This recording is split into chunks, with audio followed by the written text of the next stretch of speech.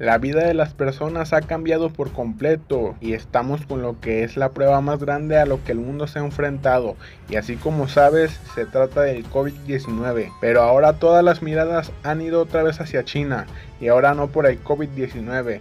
Lo que en verdad está llamando la atención en estos momentos es un nuevo virus, así como lo oyes. Este nuevo virus lleva como nombre G4EAHN1N1 o como la mayoría lo está conociendo, el virus G4. Este nuevo virus no es muy nuevo que digamos, este virus es una nueva cepa de la gripe porcina H1N1 la cual generó una pandemia en 2009. Si bien cuando se descubrió el virus de la influenza no bastó con cuatro meses para que se descubriera una vacuna, ahora que el mundo está en atención con el COVID-19 ya que a este no se le encontró una cura como tal, ya que este virus no hubo la atención necesaria para que no se saliera de control como ahora, y es por este miedo que tiene la gente que las empresas de comunicación se aprovechan de dar títulos falsos para tener más audiencia. Así que aquí en tu canal Josh News te vamos a contar toda la verdad.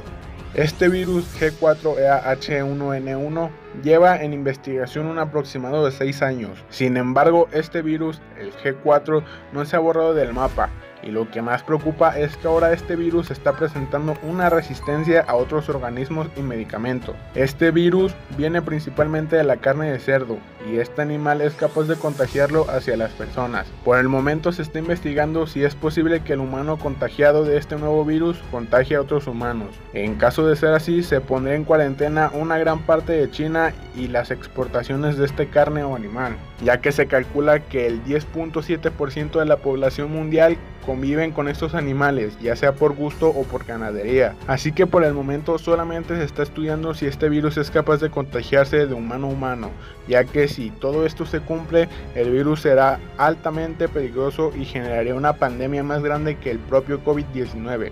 Así que no tengas miedo, juntos saldremos de esta y de muchas cosas más que le pasen a la humanidad. Y no queda más que decir, si te gustó el video dale like y suscríbete, comparte con tus amigos y nos vemos en un próximo video.